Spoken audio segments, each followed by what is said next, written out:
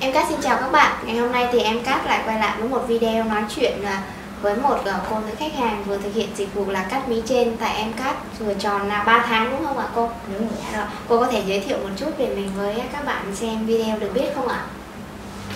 Mình tên là Lê Thị Kim Ánh à, gái mình đi à, sửa ngực ở bệnh viện em cát á bác Dạ. sĩ à, ấy rất là đẹp phẫu thuật rất là đẹp Dạ.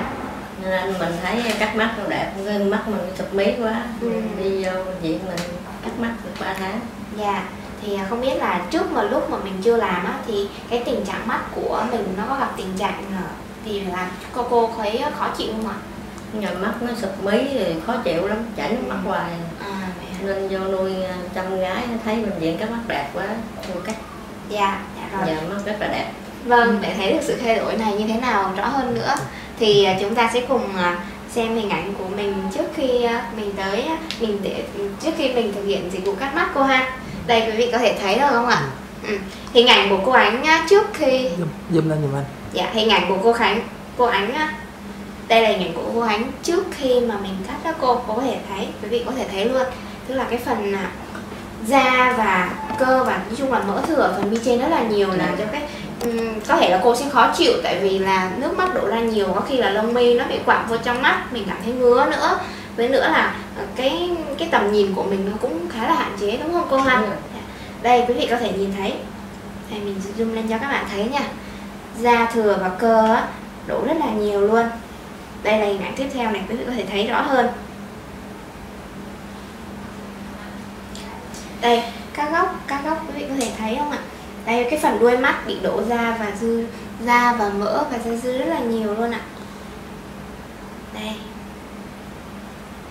Đây là hình ảnh à, mà lúc mình 3 tháng trước thì còn đây. Đây là hình ảnh hiện tại. Bây giờ mình mới chụp được.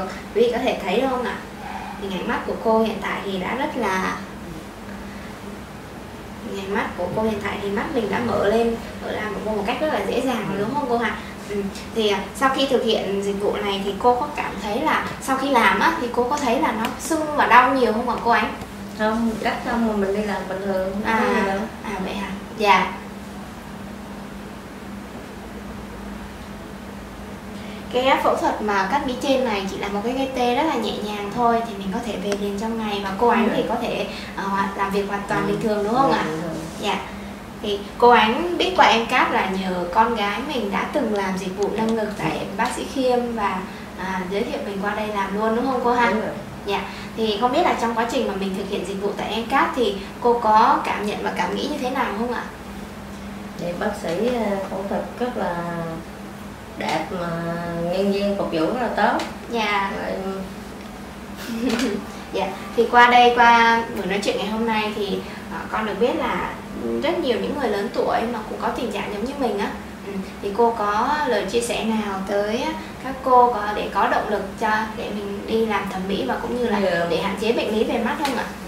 ừ, như là ví dụ giờ mình lớn tuổi rồi là mí à, trên nó hơi dương mỡ rồi nó thừa Dạ, rồi mình nên mình đi à, thẩm mỹ mình cắt để cho mình nhìn thấy rõ hơn dạ, nó đỡ chảy nước mắt nữa dạ vâng. cắt xong rồi mình đi làm bình thường như vậy đâu Ừ. Dạ. cắt xong là đẹp Dạ, sau khi làm dịch vụ tại em cát thì chắc chắn là mình sẽ nhìn đẹp hơn, Ừ. trẻ ra và công việc của mình cũng thuận lợi hơn đúng không cô? trong nhìn mình rõ hơn Dạ, dạ vâng ạ.